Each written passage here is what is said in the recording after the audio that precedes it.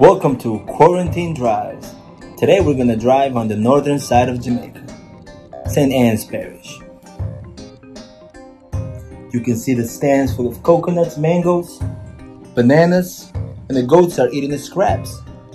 You can feel the breeze. It's perfect temperature. Just close your eyes and ride with me.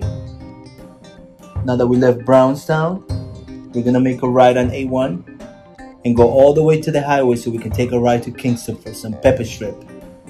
Tune in tomorrow as we drive to the battered streets of Afghanistan.